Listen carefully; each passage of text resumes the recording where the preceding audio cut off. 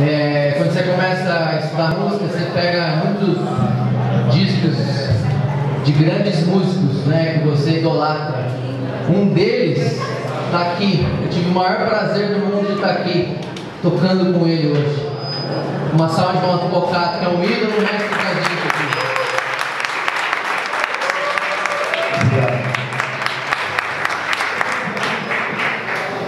Eu, o Lécio toca comigo, aí eu liguei a tarde, queria dar um abraço nos músicos. Eu falei, então pega o trombone e vamos dar um abraço tocando. Estou muito feliz de ver aqui tão bonito assim, assim, um lugar muito bonito essa escola. E está tudo muito lindo, muito bacana. Estou feliz de estar aqui. Obrigado.